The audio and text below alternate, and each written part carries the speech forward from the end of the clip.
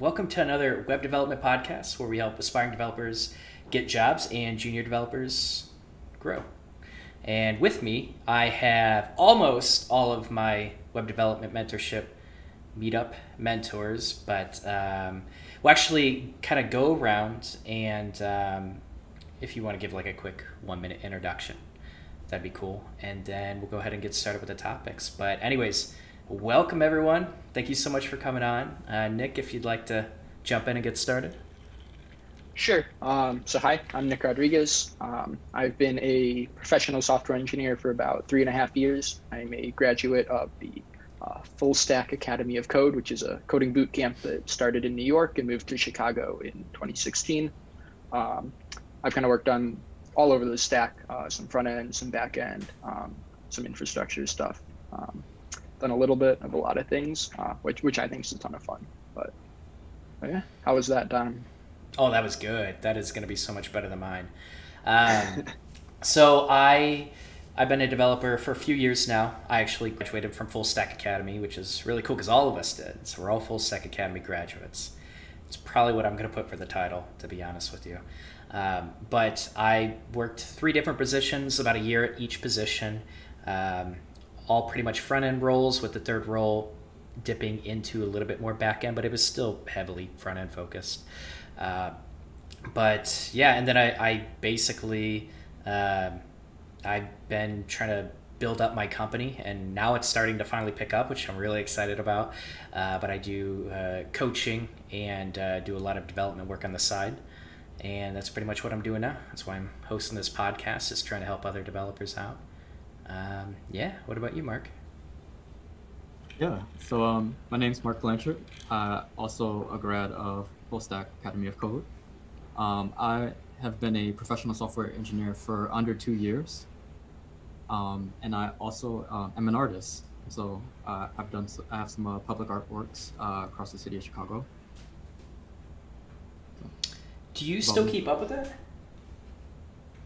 Uh, well, given the, what's been going on this year, it's been hard. But yeah, definitely I do.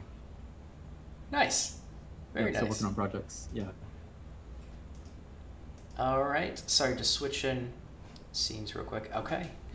Uh, very cool. Yeah. Okay. Yeah, the cams should be showing. I broke it for a second, but they should be showing prototypal. Thank you. Uh, all right, cool. Thanks, Mark. Sorry, I was a little distracted, but but thank you. No worries. Yeah. All right, Ben, you're up. Cool. Yeah, my turn. Um, yeah, I'm Ben. I am a former graphic designer slash artist who ended up switching over to software engineering after going to Fullstack Academy around 2017. Um, ever since then, I've uh, sort of done a bit of teaching at Fullstack Academy, starting out doing a lot of their handling a lot of their meetups, such as their introductory courses and their uh, sort of courses leading up to Full Stack itself. And now I'm uh, teaching their part-time curriculum for Chicago. Um, outside of that, I work as a software engineer at Jellyvision Labs during the day, um, doing software engineering stuff. uh, but yeah. Cool.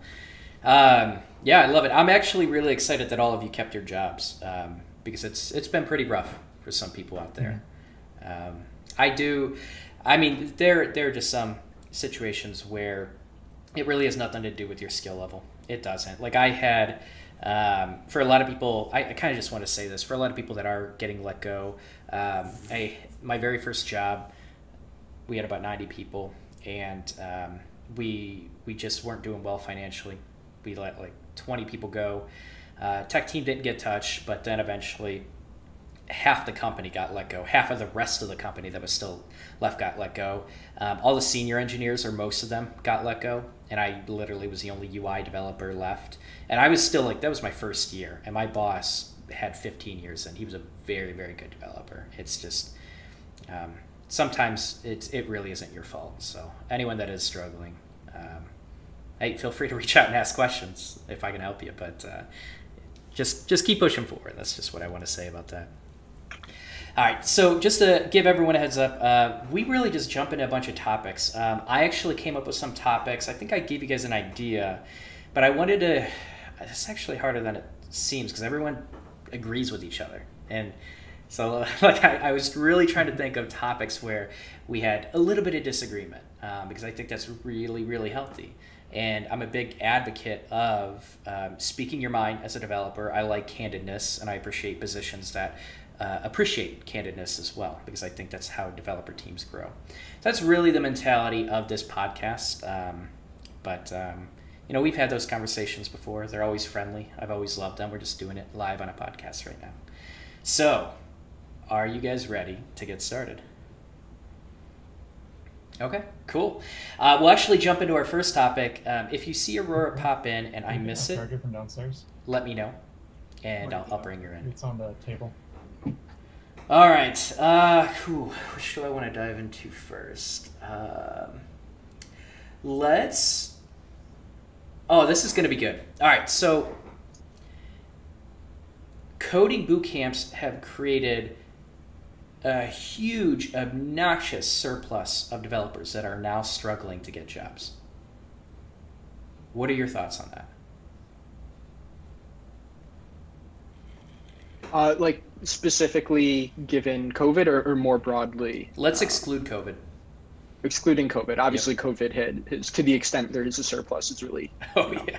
crunched that. Um, so this one I did do five minutes of extremely cursory research um, from various sources. I'll throw out a couple of numbers. Um, so, based on the uh, Bureau of Labor Statistics, a 2018 study, there are 4.5 million uh, CS and IT jobs in the US. So, that is broader than just software engineers. That includes um, like system architecture work, um, I think some web design aspects of that, but but jobs that conceivably someone coming from a boot camp would uh, you know would be qualified for, or you could see that being a career path for them. Um, according to Course Report, there are about 45,000 projected bootcamp grads in 2019. So I think that was another 2018 study. Um, and in 2017, there were 106,000 uh, computer science grads uh, from from the collegiate level. Um, of course, keeping in mind that not everyone who becomes a, a programmer has a, a computer science degree, even those who didn't go through the boot camp route. Um, and so the Bureau of Labor Statistics also projects a 12% growth in those 4.5 million jobs over the next 10 years. Um, so I don't know exactly what those numbers tell you because I did five minutes of research, like I said. Um, but my sense is that there are, it's, you know, the, the pool of jobs is growing more quickly than the um, than, than, the you know boot camps are, are, growing in terms of pure numbers, not necessarily the the rate of growth. Um, but that that could change. Anecdotally, uh, I, I haven't seen that, but I, have been in the the same. Because I haven't looked for a job in in three and a half years, so things could have very well changed in the in the past little while. So first of all, good for you for doing research. I can tell you, most people most people don't, uh, including me for for a lot of different topics. Um, and I think that is a good reminder that, um, well, first of all, like a, a, big part of this podcast, like you don't need data to back up your opinions. Just say it. If you have an opinion, if you have an experience, just say it. But that that is interesting that you say that because um, I guess anecdotally everyone that we've kind of I, I think like all of you have a good um, breadth of experience for like everyone that comes in you know who like what their struggles are how many people are struggling because uh, we've had we've had uh, i think over a thousand people come into our meetups so far believe it or not which is huge number we've we've helped over a thousand people and that is um, that's really it's just really good to hear that number and see it and uh, and just see the impact. But it it definitely I think we've heard a lot of the struggles. So why? I, I guess maybe my question is, does anyone does anyone have a different opinion? Do you anecdotally feel like there are m- many more opportunities and that uh, a lot of junior developers and aspiring developers really have a lot of picks, like they're not desperate for a job? Do you have a an opposing opinion? Um, I have I have a, not necessarily opposing opinion, but just anecdotal experience that might uh, contradict the statistics a little bit. And um, so, just some of my colleagues colleagues who graduated alongside me um, got past, like, pretty much got past like half a year of searching um, at a certain point. And I think you know, because I, I tried to stay in communication and continue to try to help um, as much as I could. And um, I think that you know when we're searching for these jobs, there's more than just the developer aspect of it, like how skilled you are as a developer, but then there's also, I guess, like a bit of social skills, um, leadership skills um, that that uh, these companies are looking for. Um, in addition to, oh, go ahead. Look like you're ready to chime in. Don. No, no, no. Keep oh, going. Okay. um, but yeah, I think that you know that there, there were a couple experiences like that where you know people had been practicing um, development. They had uh, a collection of um, projects that they could show, um, but there was just there was still other th- like for for for different reasons like they were still having a uh, trouble landing a job. And so I don't have like the exhaustive list of all that went into that, but I, I definitely think that um, you know a part of the interview process, just being able to show confidence um, is a big part of that. But I think like especially for people who like either are teaching themselves or went to a, a boot camp and they're like in the process of a career change, right? Mm-hmm. You you finish those programs and you, you you still feel like you're you're at the beginning, right? Um, so it's you're like dealing with that while also having to show like no i'm really confident like yeah it's a lot um, so so here's what i want to say to that so you know that, that that was kind of my experience when i when i talk to people that do even come from fullstack academy and I've, I've said this before i think it's one of the top coding boot camps it, it does what it does really well um, that, and when I talk to someone and I, I get to, because I, I do ask this question a lot, like, what's happening with the rest of your cohort? Like, how are they doing? You know, you just graduated, the rest of your cohort graduated. I like to kind of just pick at that and, and ask questions. I'm just curious. And that's that's what I've gotten as well. A lot of people are struggling. They're hitting that six month mark and they still don't have a position. I'm not saying everyone, but the majority. And it is it is pretty much a struggle. So what you had mentioned, Nick, was the opportunities are out there. You had mentioned that it was all encompassing with several tech positions, which uh, we would probably need to like dig more specifically into the open developer coding positions and that you know that can get into murky waters of like what is coding and what even makes you a developer but like you know for for just um, simplistic sake uh, just just people that are writing code, building out features, that are fixing bugs, that are actually typing out code. Let's just call it that. Um, why do you think? I bet you like a big chunk of that is probably programmer positions, but why do you think there are so many open positions like that? Because I've seen those stats as well. Why do you think there are so many open positions like that for developers to get hired, yet developers are struggling so much? I think there are sometimes uh, unrealistic expectations set by the the companies for the like, you know, explicit qualifications that someone will have. I'm sure you, you see online all the time that you know you need like 12 years of Kubernetes experience required for this position, which is a framework that's only been out for like five years or, or whatever. But so I, th- I think part of the problem is because it's such a quickly evolving field, the technologies are changing all the time. Um, the requirements are changing all the time, um, and a lot of the hiring is not done by engineers themselves, but rather uh, the HR department or some outside recruiting firm that they have a hard those non-technical people who are in charge of some of that hiring have a hard time keeping up with the changes in the industry and that can there's then a, a disconnect between the skill set of the people who are coming out of boot camps or college and what the expectations are for a, a position, at least from the, the perspective of a, a non-technical um, hiring recruiter. Yeah. Um, it, that that's a really good point. So so unrealistic expectations, and I'm going to play the devil's advocate a little bit to a lot of your thoughts. Um, but eventually, when they don't hire anyone, wouldn't those expectations lower? Eventually, yeah. Um, you would think, but by by that point, maybe they they have a, a different need, or they just they call off the search. They they you know if it was a more senior position, someone junior within the company goes up, or they just push it onto the plate of, of another team within the uh, whatever that work that needed to be done was, whatever that original hole in their operations was. They just used another team to fill it, added more onto their plate.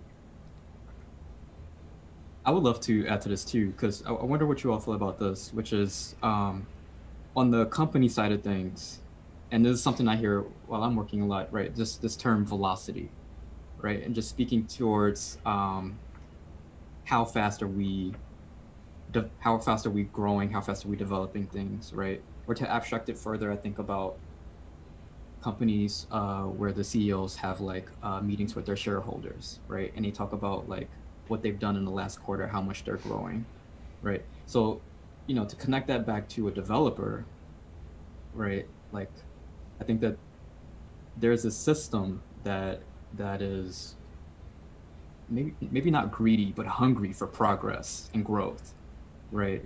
And then from the perspective of someone who's starting right they're just they're just starting out they're a junior developer um, you know the expectation within the company is that there's going to be a longer ramp up period when they have these other constraints or pulls um, in terms of thinking about their personal growth or the growth that they're being pressured by shareholders or some grander community. Um, and I think that sometimes that can contribute to like that that that scenario can make it more competitive, right? You're not competing with another person specifically, right? Yeah. But you're competing with the system. Yeah, yeah, that's that's a really good point. Um, I think it kind of bridged a little bit into what Nick was saying. Um, be, I, so, a lot of positions get opened up. Companies are ambitious; they want to build new features, and that is what the budget currently supports. And then eventually, I mean, budgets change, you know, all throughout the year, and eventually, sometimes positions are just shut down and uh, work is passed on to the other developers to take care of it. Um, often to other senior developers or just people who have that availability, and it they fill it up. Because um, I, I, do see positions open and close. Uh, it's happened at companies I've worked at. And uh, the work just got passed on to the developers on the team. That, that's definitely a thing. Uh, but it, like you were saying, I think I think companies are ambitious, especially like some some are greedy, some are like greedily ambitious, but some also um, some don't even have the staff to support a lot of junior growth. They don't have the, that time period to ramp someone up. Uh, they don't have the availability of the developers. So, are you are you kind of suggesting that maybe a lot of the open positions have higher expectations that junior developers don't meet, and that's where the stats are kind of getting bloated with? Do you do you feel like companies don't really have the budget or the availability sometimes to bring on junior developers? Yeah, that's kind of the direction I was going in. Um, but now, having said that, Nick, in the research that you did, and those put those open positions were those specifically geared towards junior developers? Oh, those were not. Those are just the the total job pool. They weren't open positions. Um, oh, okay. But that's a that's a really good point. Um, I mean, I, I think it, at least kind of in, in my experience in my company, you can't really expect really any engineer, but but particularly junior engineers to like reach you know productivity until like three to six months after you hire them, and that is especially that's taking on a lot of risk as a company, right? Like especially looking at the bottom line, like that's three to six months of of a, a developer's salary before they even you know start contributing to the company and in that time while they are ramping up they are taking away you know, time from from other people which is what you were what you were just getting at Yeah, that's that that's a really good point. So so do you feel like so what we've kind of like circled around a problem. I think we've kind of come to the conclusion that there are positions um, that are more open to mid-level developers and up. And I, I've even found that I don't know if you guys have found that, but my second position, my third position was much easier to get. It wasn't even a struggle at all. I didn't have to put the number of applications. I think even before Catalytic, I put in like seven or something like that with companies I really, really wanted to work at, and I had some interviews pretty quickly. Um, but it, that's kind of what I'm seeing too. Is like a lot of companies want mid-level developers and up.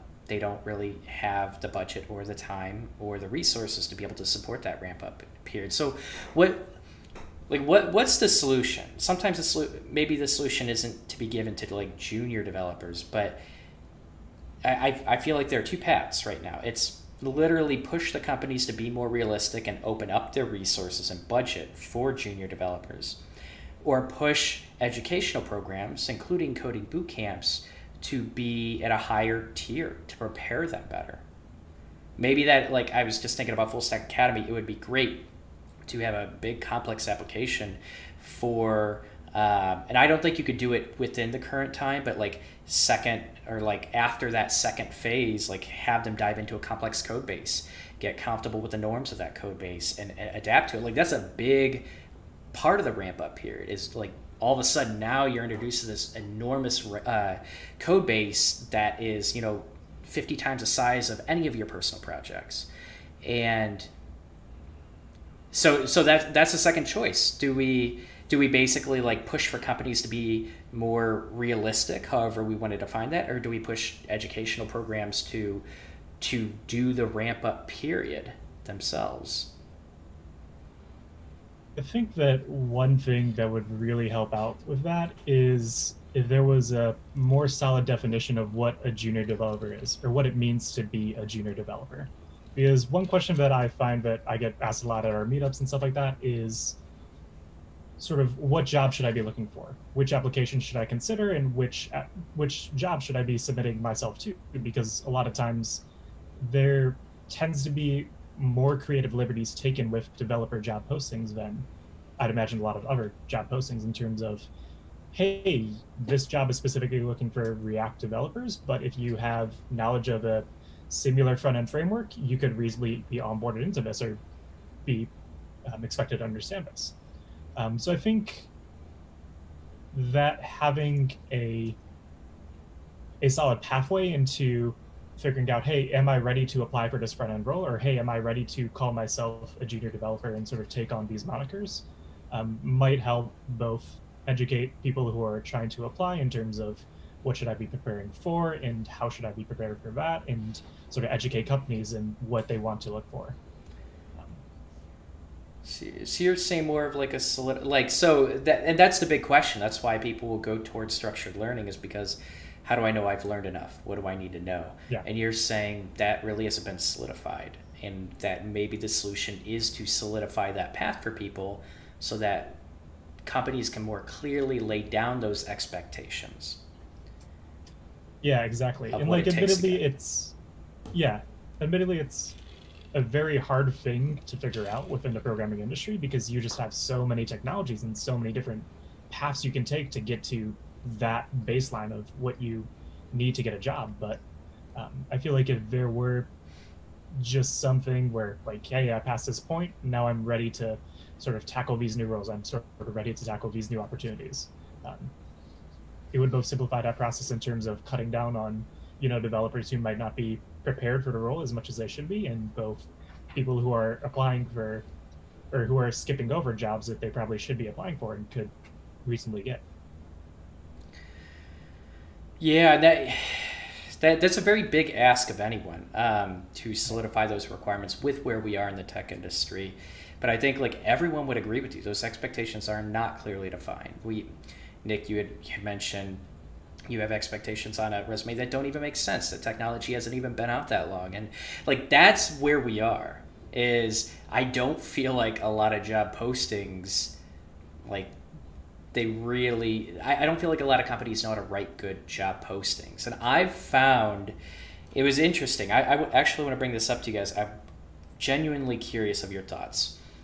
I've my second company albert um, they had a job posting where it mentioned javascript no javascript but it like it pretty much as far as technical capabilities left it at that right? There were a lot of soft skills they looked for leadership qualities. And it was like they almost minimized what you needed to know with tech, but they highlighted all of these soft skills.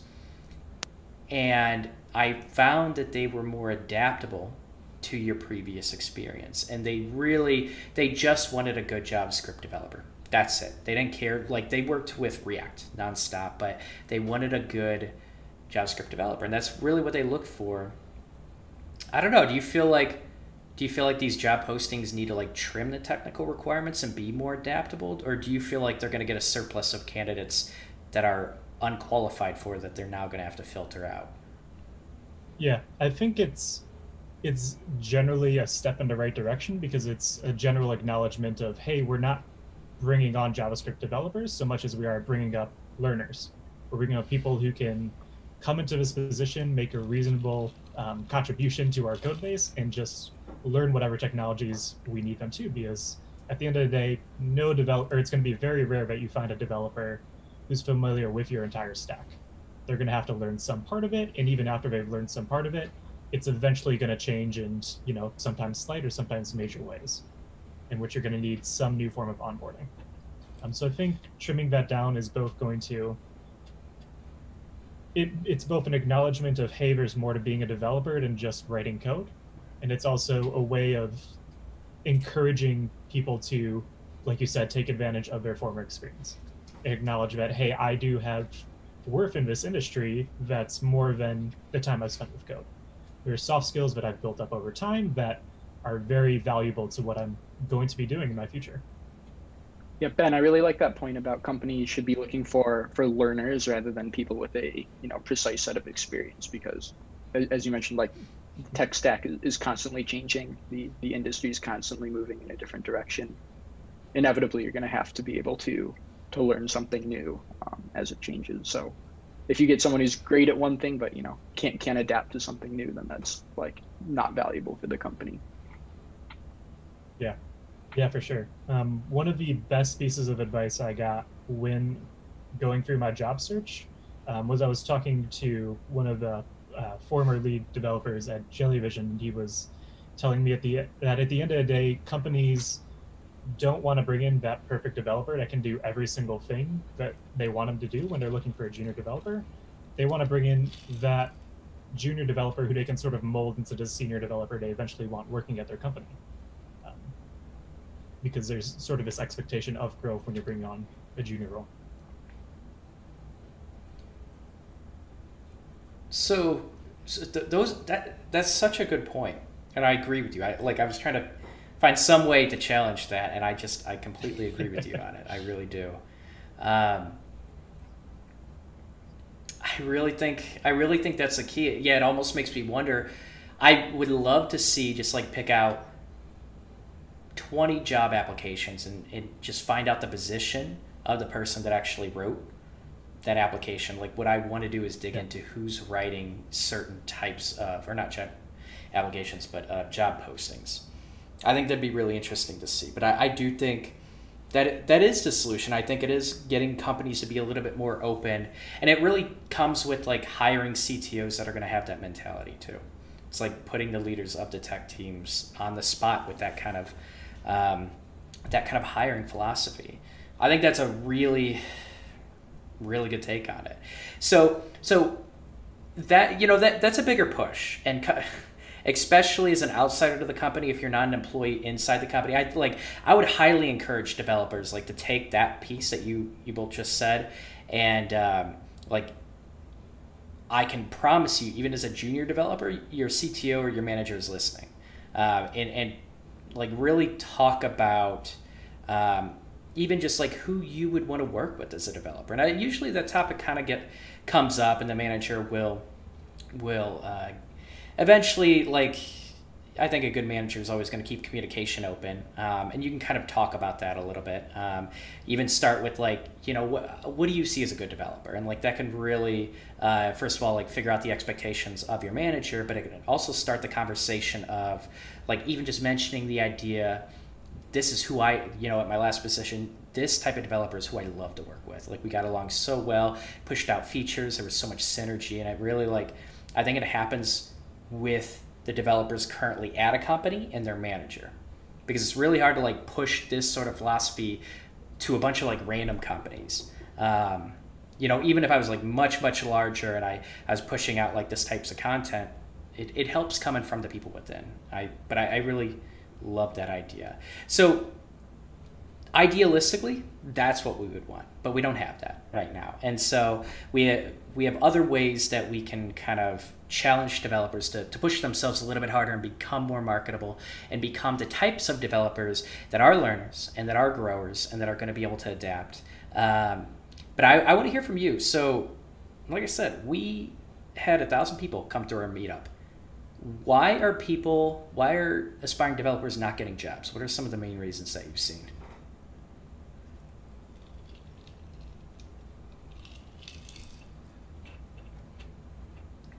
Just put y'all I'll on the start. spot. Right.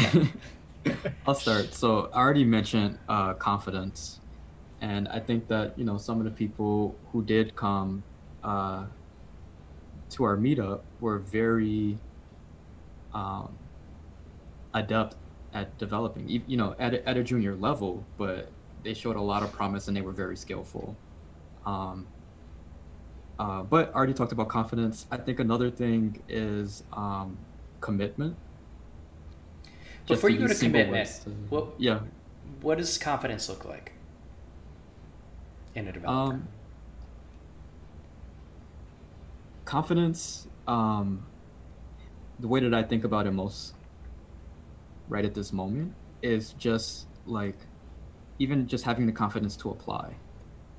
Because yeah. there were there were some developers who came and they had contributed to a lot of open source projects. Um, they were able to like hold conversate fluent conversations, right, of like algorithms and the way that they were appro- approaching the frameworks within their individual projects that they were working on, right? Um, but even after show- showcasing all of that, you know, they would express like, "Ah, I still don't quite feel ready." Um, because I'm looking at these applications that are junior roles, but then they say I'm looking for five plus years experience, right? Um, and so that's that's kind of where I'm coming from there. Okay. All right. Cool. I was just curious. Yeah. yeah. And then uh, Um, you were going into commitment. Sorry. Oh, commitment. Yeah. So, uh, and you all were kind of talking about this with developers being learners, right? But I think about um, the ways that we can dig deep into concepts or new technologies, right? And so, as you all were expressing, like being learners, I think it lends itself to being broad, right? So, like exposing yourself to a little bit of this technology, a little bit of that technology, to to substance, to a substantial degree, right? But trying to stretch out.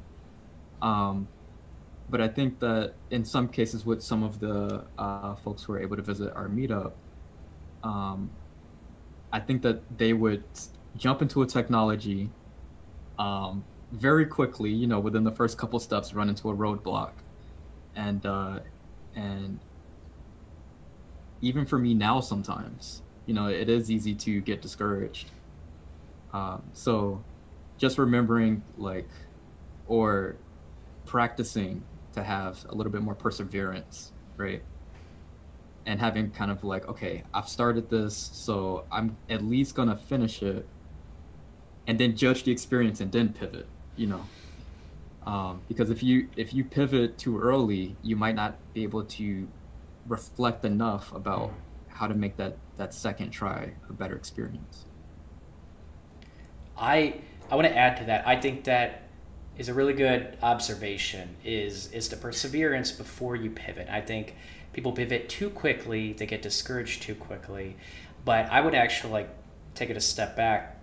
just focus on projects in general. Think about like people that are trying to build out a project that get overwhelmed. They get stuck and they get frustrated and they feel like, oh, not ready enough for this project. And then they go back into learning, which is fine. If you if you're just getting stuck too often, you need to go back into the fundamentals. I think that's natural to, to have to do that while you're learning. But then they don't return to the project. Then they start a new project. And it, I almost feel like some of it is that people giving up and not having the confidence, but I also feel like some of it is people trying to ride motivation.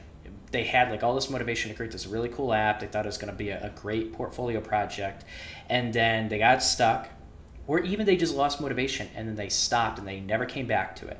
And I see a lot of aspiring developers that have a graveyard of portfolio projects that have never been completed, and they have nothing to show right? Like a half done project to show to an employer, it's like that's telling. It's like, are you going to give up in the middle of building a feature, or like, are you getting stuck? Do you not know how to communicate and ask questions that get help? Do you not know how to? Are you not resourceful? I could see like a lot of those questions just being asked because you don't know the person, right? It could have been something completely different, but a half done project is very telling of a developer that's potentially going to deliver a half baked feature. And so I I mean, I think that perseverance is healthy, even if like you don't enjoy the project anymore. When you just quit in the middle of a project, you have no idea like you have no room to like reflect. You have nothing to reflect on. And like you said, at least if you finish it, first of all, that's a good habit. Just finishing what you start is a phenomenal habit. And I had a really bad habit of not doing that for a very long time. I'm very guilty of this. But um, that's a muscle that you should be building throughout life in general. But yeah, they like a lot of aspiring developers. I feel like that they're like not gaining the confidence they really could gain because they don't finish anything, and they keep they keep bouncing from tutorial to tutorial, and they're not they're not committing to like doing whatever it takes to actually finish even if it's like the crappiest project in the world like it's spaghetti code tons of bugs but if it works you know you, you can go back and refactor it if you want but maybe that's where the lack of confidence is coming from is is is people just like giving up on tutorials giving up on projects and not giving them like persevering so they have the time to reflect on their entire journey of that project. Yeah and i'm gonna i'm gonna defend my fellow like young developers because it's it's not 100% to our fault that we don't finish. Um, there's a psychological term that I learned about, uh, and I, I, have no degrees in psychology, um, but it's called overchoice, right? And it's it's when you're inundated with so many options that it it disables you from being able to choose anything, right? And so, mm-hmm. the deeper that you break into these technologies, right, the deeper you get into your project, you're like, oh, I can do this, I can do that, oh, I can pick that thing over there, you know? Oh wait, there's testing. it, it, suddenly, you know, um, you might not always be as excited as I am. You might just be like, "Oh man, this is this is so much. I just need to take a break," mm. you know. And then I think probably what can happen after that is you begin to associate that particular project with that experience, which is a very frightening experience. Um, and maybe mm-hmm. it's just easier to start a new one. But I think you know when I was speaking to roadblocks, I wasn't speaking about learning how to code necessarily, right? Or exclusively. Um, you know, like that that over choice is one of the roadblocks that that we all have to face. Um, and yeah, just knowing how to make something infinite, knowing how to break it up into a, a consumable step. Yeah. Yeah.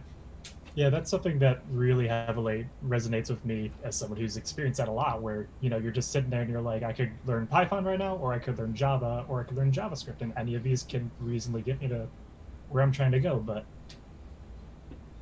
they, I found that when you're faced with option paralysis like that, you sort of just have to learn to pick one and run with it. You have to get comfortable with the idea that when you're creating a program, you're going to make mistakes. You're going to pick technologies that don't work out, and sometimes you're going to have to sort of pivot and restructure your approach.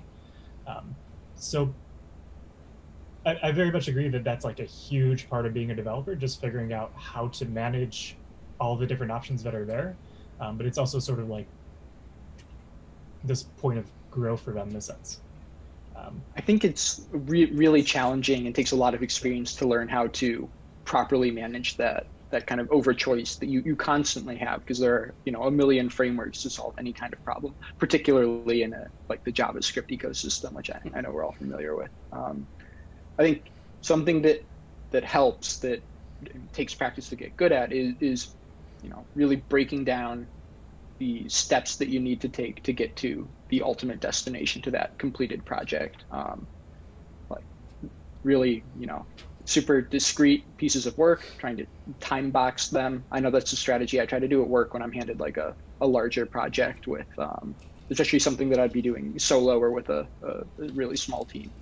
Being organized helps you know re- reduce that over choice so i have these you know five things that I, I need to do right? And i just pick one of those things to do and go with it. Um, so ha- having that that plan makes it harder to hit those dead ends yeah i think that's a huge advantage of the sort of ticketing architecture a lot of companies take when planning out their projects because not only does that give your developers something to work on, it sort of gives them a definition of done. It gives you a way of saying, hey, today I completed this part of my application. Today I achieved this. Um, and sort of taking that and applying it to your personal projects, whether that be actually creating some sort of board for yourself when you're planning out your projects and creating issues for you to work through, or just sort of defining your minimum viable product for what you're trying to create. Um, I think that's a huge step in the right direction because it gives junior developers sort of milestones that they can reach when working on something without that, having a, to achieve entry. Yeah. Yeah, that's a, a, great point. Like just getting that feeling of having accomplished something, um, because it, Rome wasn't built in a day, right? You're not going to finish your your project in like one shot. It's not. There are, there are you know multiple milestones on the on the path to completion. Yeah. Yeah. I, I really like the idea that you guys mentioned of maybe you're not going to know that path. Like you're going to be given a very complex task, and whether that task is a really, really huge project, a feature that work's given you, or it's becoming a developer, right? It's really hard to know that path specifically, but I think I think you start to learn how to solidify that path on your own by just taking one step at a time re-examining like did you are you any further? Sometimes like if you're trying to become a developer sometimes it just means okay is anyone just added a new project to my portfolio? I hooked up a database to it. Do employers care about this portfolio now right? And it's just putting out more applications and getting that feedback back. Like you can you can use several milestone markers or whatever to identify that you're actually accomplishing accomplishing something but you're not going to have any like feedback. You're not going to have any data to figure out if you're on the right path until you just like start doing something. And that that's part of uh, you know that's kind of one of my frustrations is like when someone's like give me step by step by step by step and they haven't even like they haven't looked up anything. They're just like i want to become a developer um what like what do i do and then like you I, I think all of you have this experience. Like you kind of have to explore well, what have they done so far? What do they enjoy? Why are they getting into coding? Um, what, like what did they like about what they have done? Let's let's push forward with that. And I think the idea is you just got to keep pushing forward. And I think that's a mentality we've instilled in a lot of people. Is just like you can ask these questions, but they're not going to provide you as much value as you think they're going to provide you because you're still on step one, two, or three when they're like 20 other steps. You know what I mean? So I like the idea of just taking one step at a time and trusting the process that it's going to solidify that path for you because eventually you're gonna you're gonna figure it out. And I I think it is a challenge to like identify where you're screwing up and where you need to pivot. Um, that's why I think a lot of people appreciate structured learning because people can tell them like if they're going off track. But like you even think about like tutorials, right? They a lot of tutorials and courses promise like if you get to the end you're going to be hireable. Do you do you trust tutorials like that? Do you trust uh, I'm, I'm going to like pick on online tutorials. Um, not going to mention coding boot camps although coding boot a lot of coding boot camps would be a good example but do you feel like a lot of tutorials that are saying like we're a start to finish tutorial and you will be able to get a job by the end of this tutorial do you do you trust tutorials like that do you feel like they do provide a lot of value towards people I feel like I trust boot camps a lot more with that, not because of their content, but because you have a person you can reach out to who can tell you, hey, I've seen what you've learned, I've seen what you've done. You seem like you're ready to achieve this next position. While with tutorials, it's very easy. Everyone sort of has a different different definition of what it means to go through a tutorial.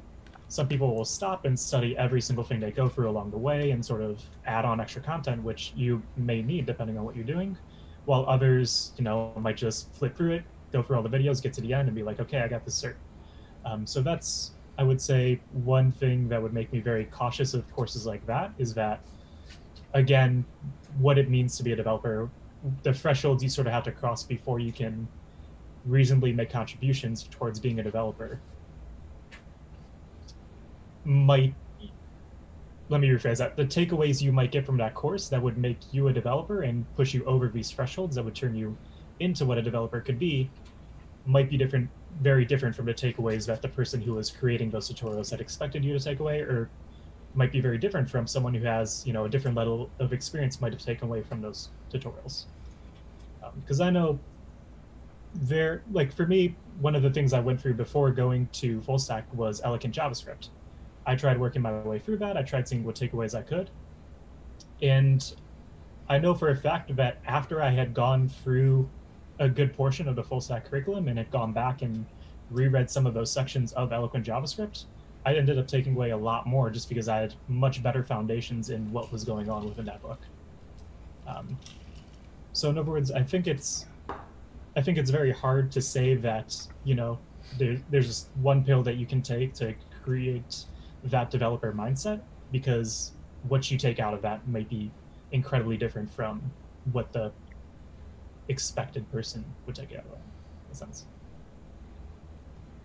Yeah i think that's a good point. And i think a lot of instructors and course creators have good intentions and they pour their heart into it. But um, yeah sometimes it doesn't resonate with junior developers like we I recommend Eloquent JavaScript. A lot of us recommend Eloquent JavaScript to the people that come into the meetup. But I, I remember reading that before Fullstack Academy, and it was hard. I didn't retain much.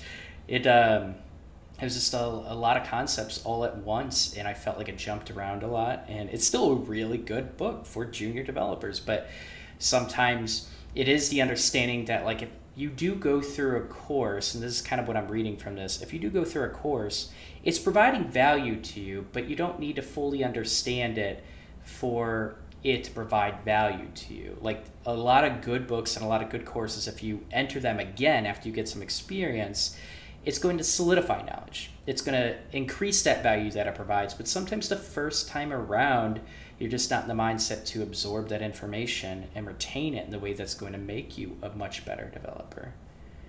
I think that's a really good point. Yeah. Yeah, and I think it's very much an extension of the idea of that at the end of the day, development's a skill. Mm-hmm. The only way to truly get better at it is to just keep doing it over and over again. So, you know, if you go through the same book twice, you're going to be practicing the same skills twice, and you're just going to be reinforcing those things that you already know. Yes. Yeah, I completely agree with that. All right. I think I think we touched on a lot of like really good topics for junior developers. Uh, I love kind of starting out with that focus uh, because I, I just like I think my one main takeaway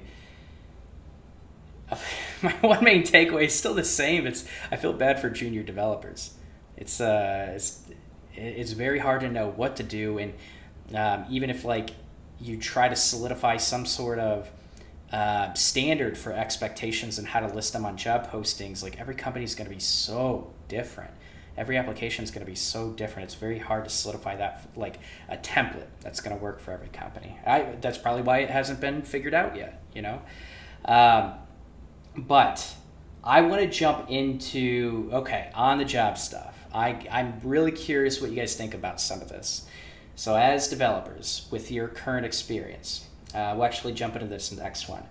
Um, so there is a saying that extensive use of third party libraries and frameworks is a sign of incompetence of understanding the fundamentals or a language in depth. What do you guys think about that? Only sometimes, not usually. I think if it's important to know exactly why you are pulling in a, a library and are able to kind of justify to yourself that it's the right decision. I think if you are blindly pulling in libraries to compensate for not knowing how something works or not understanding a particular concept, then that is not necessarily a, a sign of incompetence, but a, a an opportunity where you could be bettering yourself as a developer and you're kind of doing yourself a disservice by pulling in that third party library.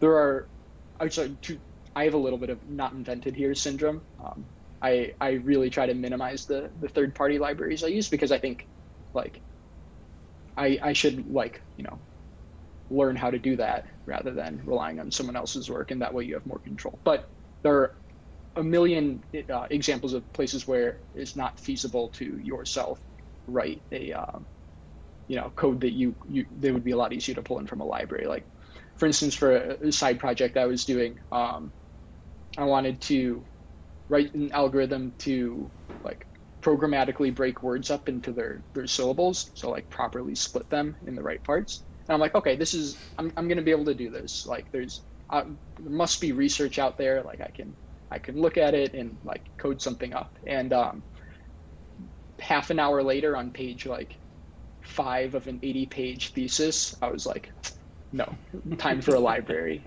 Um, and that that is one of those instances where i'm like completely comfortable pulling in a library. When it's a, a targeted problem and you can justify that it is absolutely not worth my time and energy to solve this already solved problem myself. Like, let's just pull in a maintained, respected library that will take care of this specific problem for me.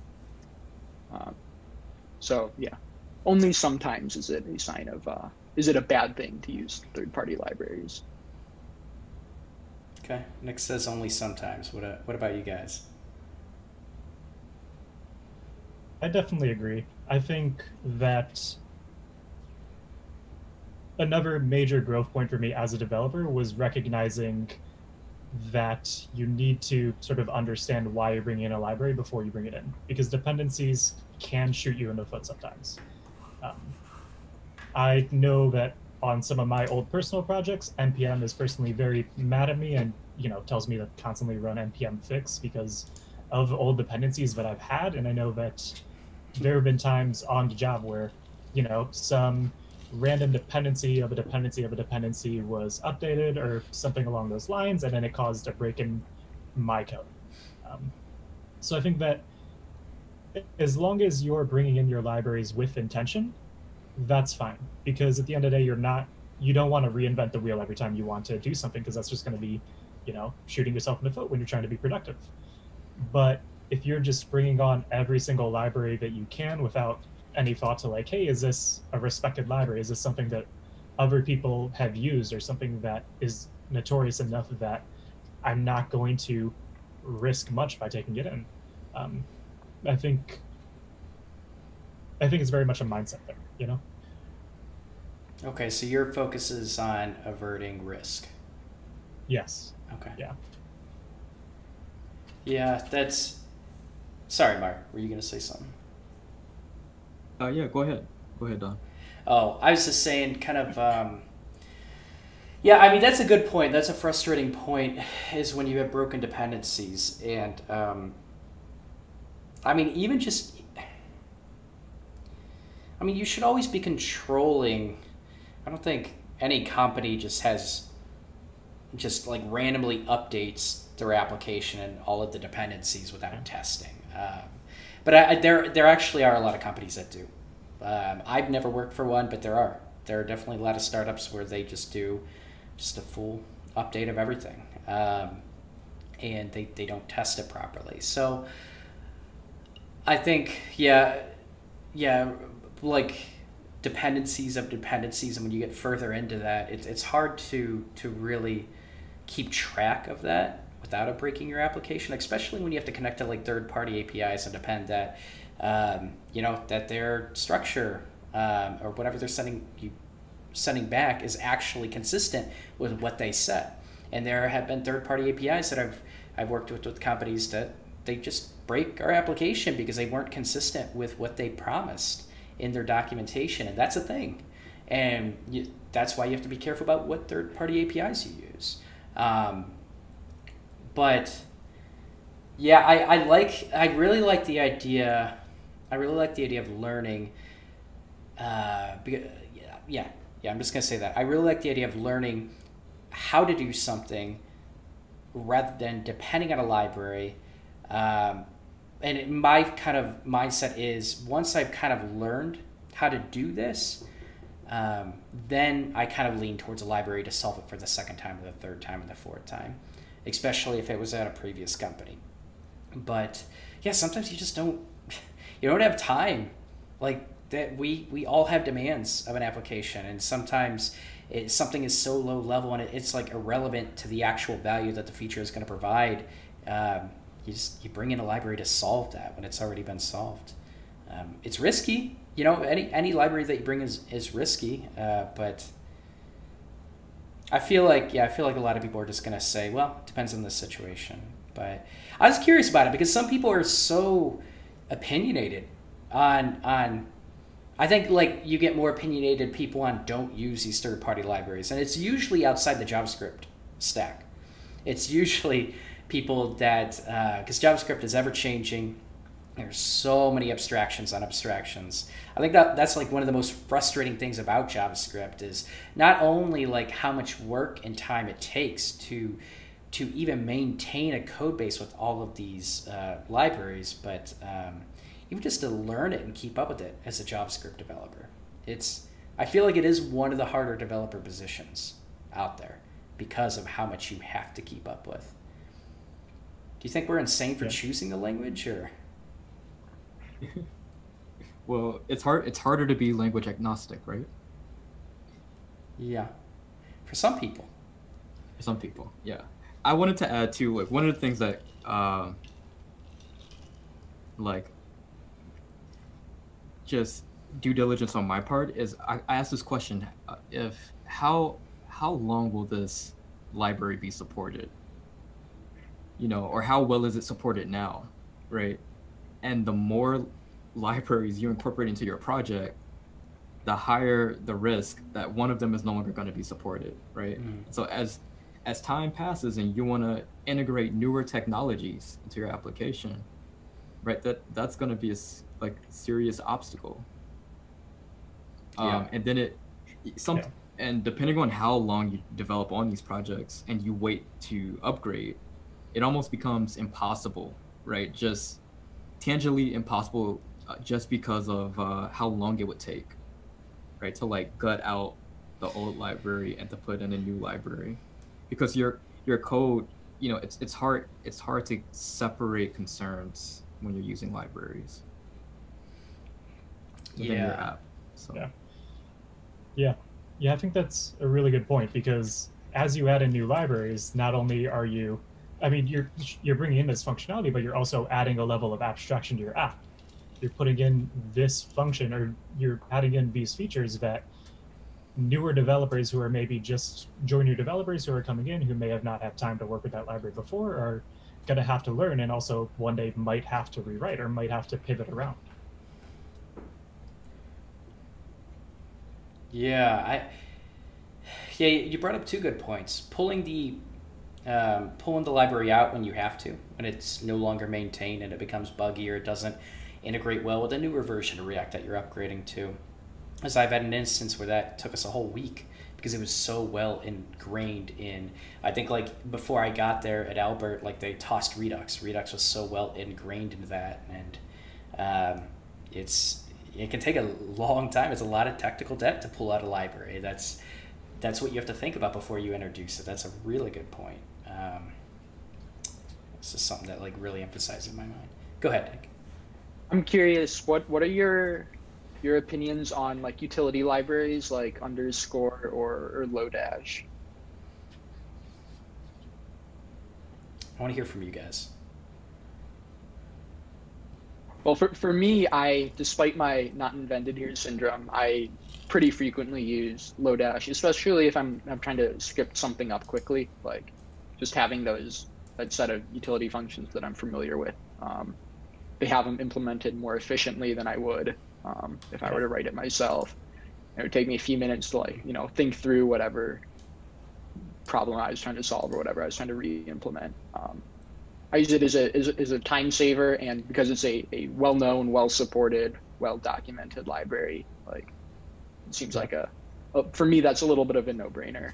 Um, though I do Yeah. have like a slight twinge of guilt every time because I'm like, I could, I, you know, I could do this. It's not complicated. It's just, yeah, less efficient. I think. Yeah, I think Go ahead, Ben. Go ahead. Okay.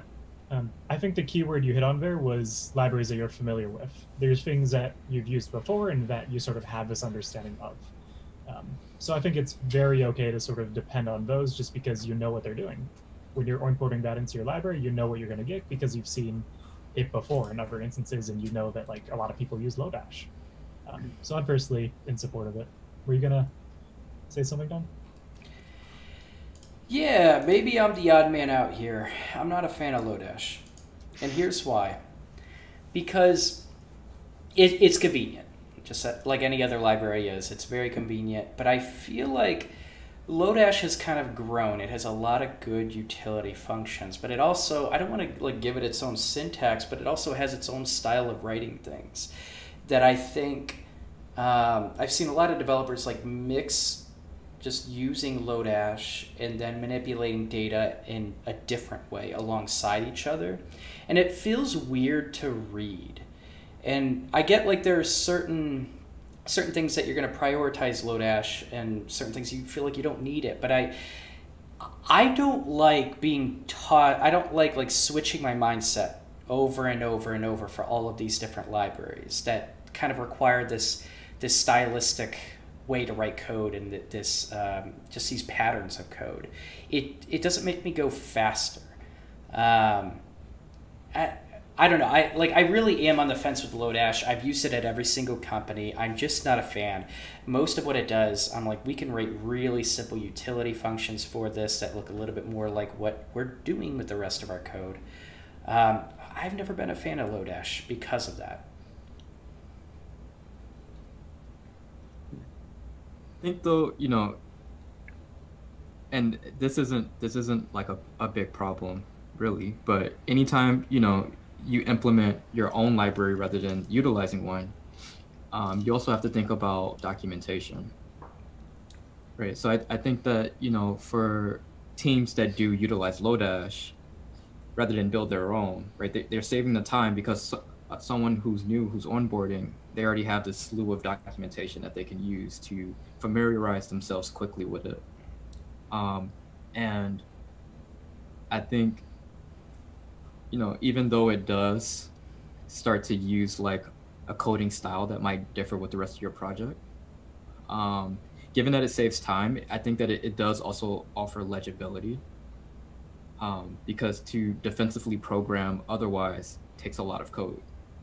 Um, so I think that you know using Lodash as an example, but you know also utility libraries that can improve legibility of code, I think is really big because a lot of times as a developer, you're looking at code that's already written, you're looking to add something to it, you're looking to refactor it, right?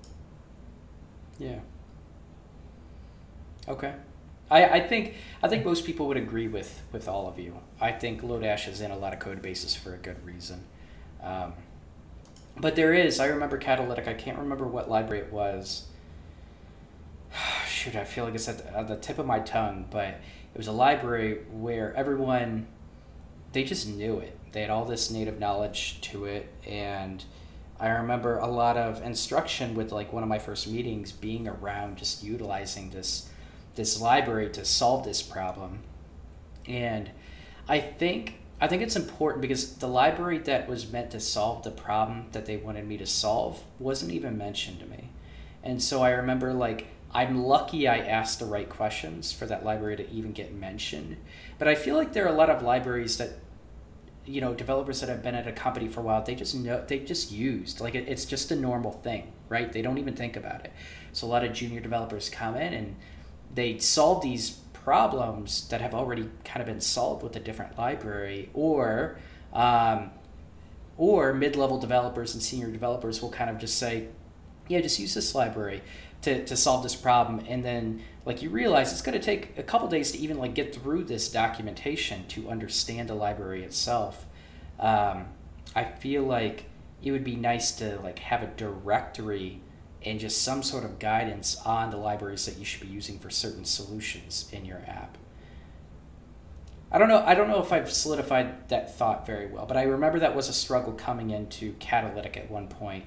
Um, I, yeah. Does that make sense? Yeah. Yeah. What's I the think I- library? Rec- oh, sorry. Go ahead. No, you're fine. What's that? Don't was the library recompose? Recompose was another one. It wasn't Recompose. Um, Yeah, that was the first time I think I've used Recompose at Catalytic, and that yeah because yeah that brought yeah that brought a um, a bit more complexity into React that I actually wasn't used to. Um, it wasn't Recompose, though. No, Yeah, But I do I, am I'm not a fan of recompose.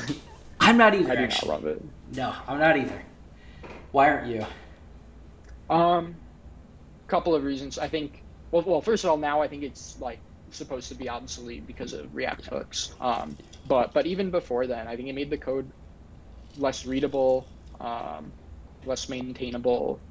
Uh, totally fucked up the IntelliSense in my editor, um, which is probably the the main source of my hate. Um, but I, I- felt like it, it, it slowed me down. Um, it made it a lot harder to, when you're looking at a, a new modular component for the first time, understand like what was going on because it pulled in all these other higher order components in a way that wasn't particularly clear. Uh, that's my two cents, though. I, I didn't have a, a ton of experience with it. I'm sure I was. Uh, I'm sure with more time it would have been it would have been better, but in my, my limited experience, not a fan. I think um, this is just a future thought. I think I want to do a podcast about React. Like literally nothing. Like just a whole talk, an hour and a half conversation is about React. I think that'd be fun because I have a lot of things to say, especially about libraries that are paired with React.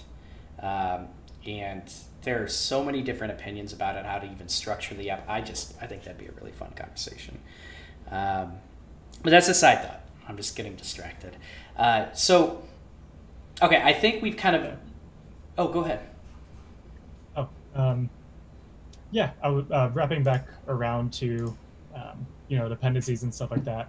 Um, I feel like I, I really sympathize with what you're talking about, Don, because I feel like when you're writing code, you're basically playing this really intense abstract game of exquisite corpse, where your end result is just this amalgamation of everyone into company styles along with the styles of the libraries you bring in.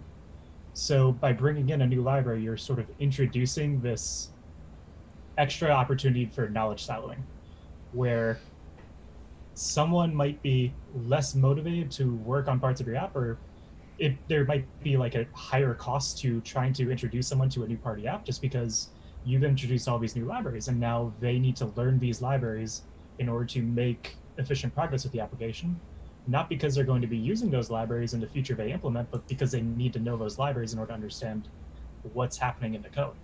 So like if I don't know what certain features of Lodash do, I'm probably going to be it's probably going to take me a lot longer to decipher what exactly the code is doing just because I don't know what's going on. Um, that's something that can sort of be combated with documentation, like you guys have said, but um, yeah, it's it's a very difficult level of abstraction that you're sort of introducing into your application. Yeah. Shoot, I had a good point to add to that. Um, oh, so to add to that, I think so. There, there have been a couple times that this has happened where developers have brought into the code base a brand new library, and so we don't find out until the feature is delivered. And usually, like sometimes we don't even find out until the code reviews, and we're like, why? Why did you have to use this? And that's usually the question. And so usually most developers will give a good explanation, and by the end it kind of makes sense why they brought it in.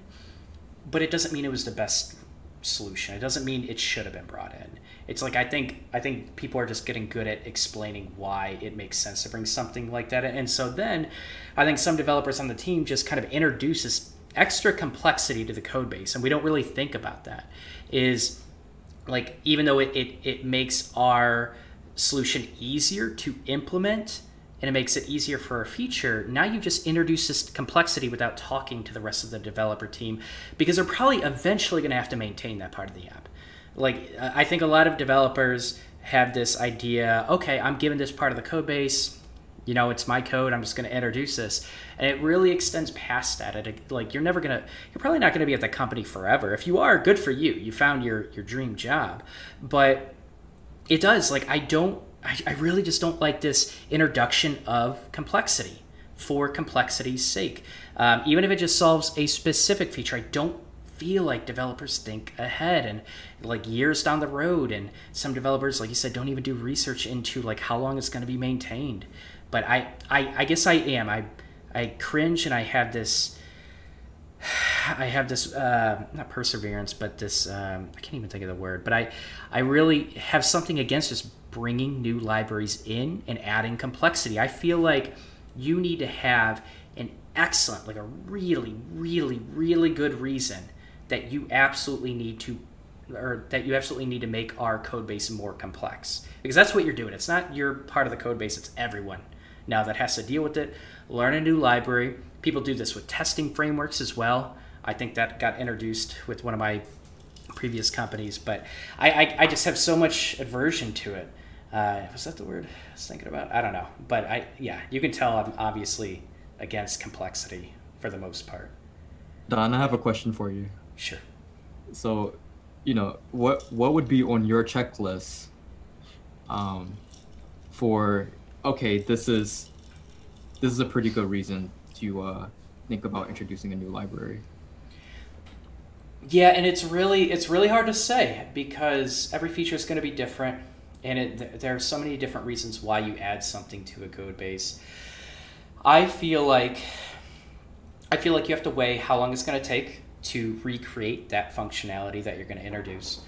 Um, you have to um, even just like I actually want to get away from from bringing in a library for a sec, but even introducing no, I don't think hooks are a big deal. But I feel like when I went to Catalytic, a lot of our components were class based components and also functional components. We had tons of class based components. But then hooks started to really get heavily introduced, probably a little bit before I was there. And I didn't know what hooks were. And but but the assumption was when I was past that project that I was able to read everything and understood hooks and um, and I wasn't. It's it's something new that I had to learn and it added it added time to like me actually getting that feature out to just even follow the code base of like how the feature was implemented in a very old way. It was it was hard for me to read. Um, so it's hard for me to define requirements for a specific library but i think it's like to define like how i would add requirements for complexity it's like that's that's why it makes it really hard for me to answer that question how do you how do you bring more complexity into a code base? How do you bring like brand new functions that were just introduced to a framework in a code base? Because it doesn't have to just be a frame, uh, framework or a library.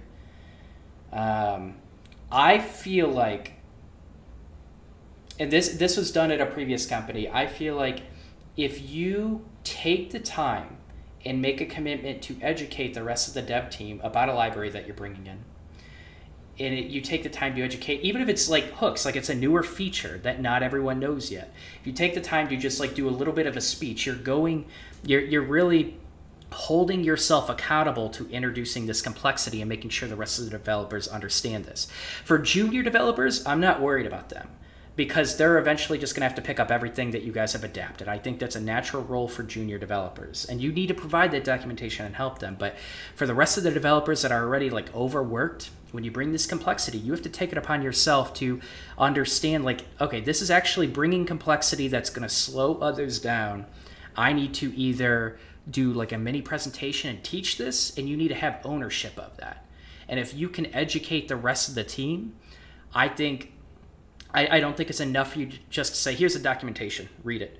I, I think that's tossed way too much, and sometimes documentation has taken me like two to three days just to read it. It's like you probably could have like condensed some of this and and, and delivered it. But I, I think my expectation is that developers take the ownership of making sure that the rest of the team is comfortable with what they're introducing and they and if not they're teaching it they're taking the next step to actually teach it to the rest of the, the developers maybe not everyone agrees with me i know a lot of people I don't know if a lot, but I know some people are just like, well, your responsibility to, to look it up. Like you're developer for how uh, you've been a developer for how many years? Like you, you can look this up, you can learn it on your own. It's like, I can, but you're kind of being selfish by introducing this complexity, like and just like throwing those requirements on us. So that that's kind of my mindset behind it.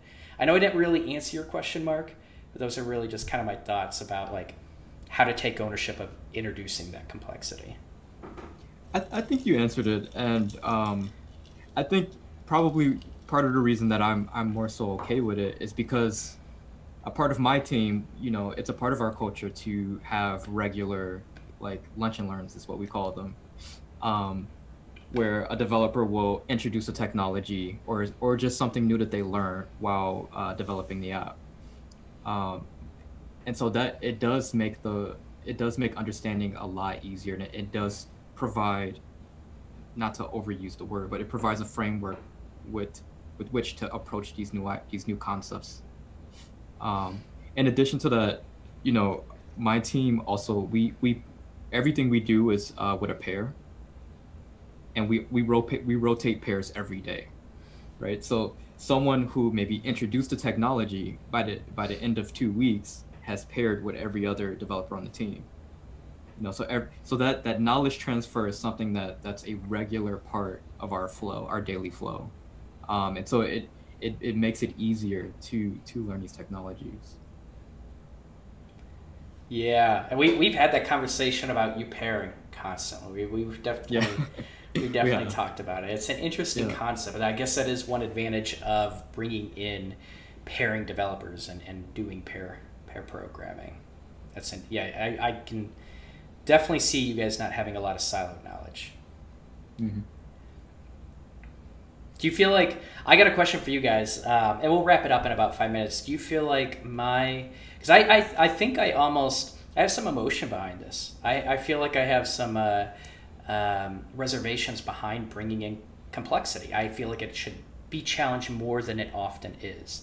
Do you feel like I am being um, overbearing with it or like too opinionated about it?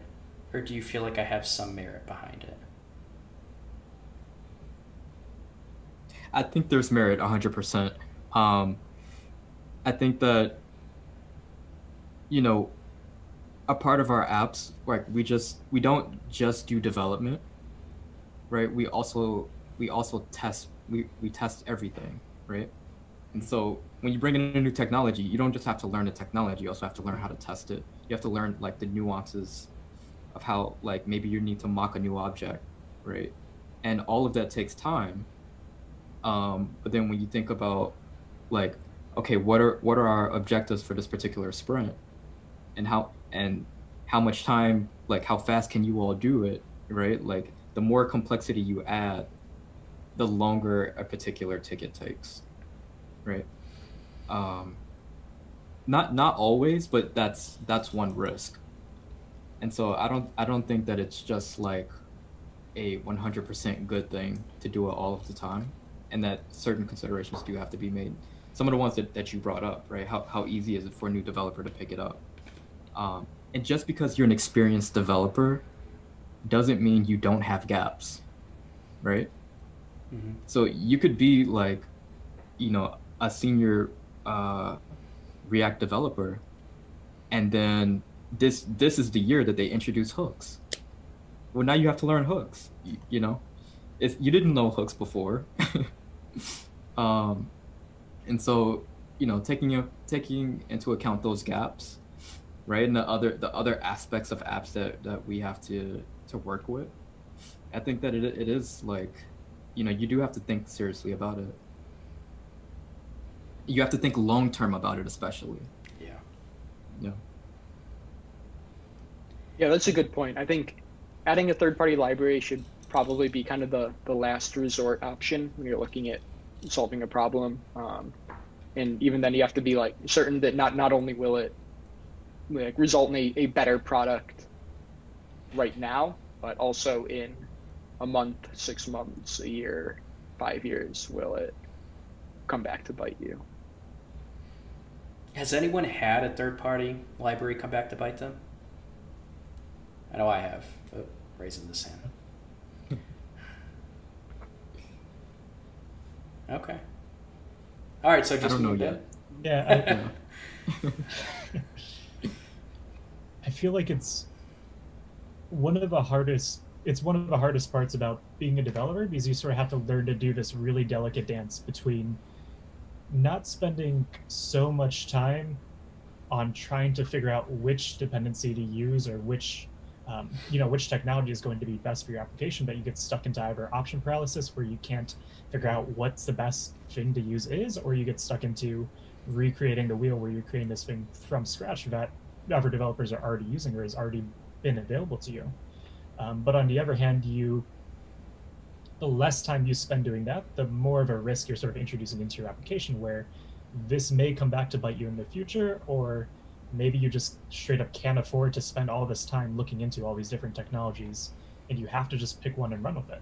And I think this is a very real problem for both people in the industry along with junior developers, where you sort of have to you have to identify when is it okay to either settle or just jump headfirst into a technology without running over the other options and when is it okay to take that time to sit back and figure out what the benefits and drawbacks of each of these options are and what sort of the politics behind these are in terms of how are other developers going to feel about it and how is this going to what's the community of this like to the point where is it going to be maintained like for the lifespan of my application Yeah. Yeah, that's a, that's a really good point. I think I think all of you you illustrated well what to really watch out for when it comes to considering third-party apps. I think I I think I pushed this topic so much because it's the one thing I don't like about JavaScript. It's the one thing. Like I, I love JavaScript as a language, it's why I stick with it. But the abstractions make the entry point much harder to attain. Um, and it's harder to keep up with.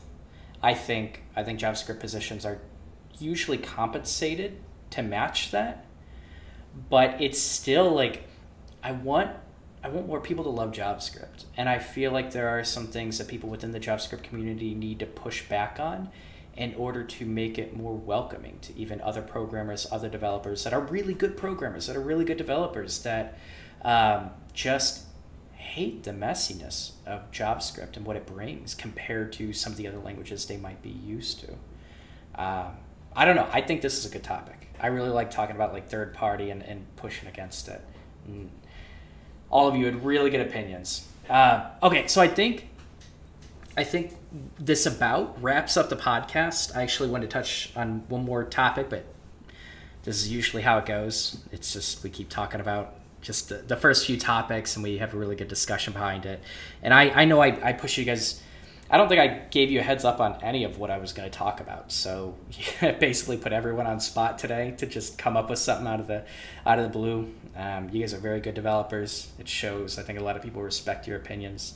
I've seen that at the meetup. I've seen that at um, like I've seen that at your company, Catalytic. Um, so it was definitely a pleasure having you on. Uh, before we leave, I'm going to wrap up. Is there collectively one last piece of advice that we can give for aspiring developers that uh, they're just trying to do a good job? They're just trying to grow as aspiring developers, do what they need to do, and love the technology and eventually get that position. What can we come up with?